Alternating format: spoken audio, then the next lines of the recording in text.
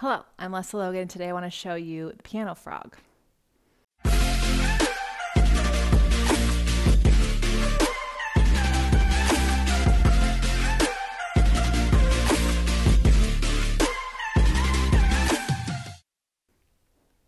So, um, of all the frogs, this is one of the nicest slash not the nicest. Um, it requires a lot. It feels a lot like chest expansion as well. So um, you'll you'll that's what you kind of want to feel in your body. But it requires some strength in your legs and some stability on the balls of your feet. So if you're watching this video from the online pilatesclasses.com flashcards, I hope you can see um, the information on how this exercise can correlate to other exercises on your Wunda Chair, armchair, high chair, and your mat and reformer. So you want to be on one middle spring we do have that information on the flashcard deck about which middle spring you should use if you're using more of a contemporary chair, but you can play around with what spring is the most supportive for you, right?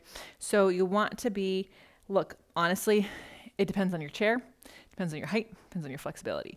So I tend to err about half of one of my own feet distance from the chair and then see if I need to move forward and back. So arms out in front of you.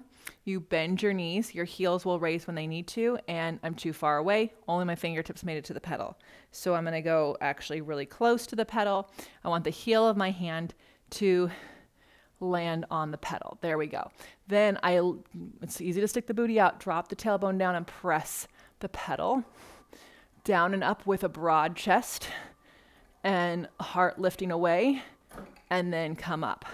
It'd be amazing if I can get like a little bit lower in my legs, but I've got to work the flexibility and stability to do that.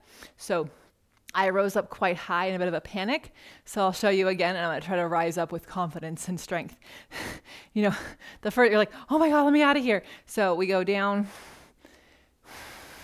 and then we work with the spring and then rise up, lower the heels and the arms lift up simultaneously. So if you find one arm lifting versus the other, that's some feedback for you. You try to just push into those legs and stand up.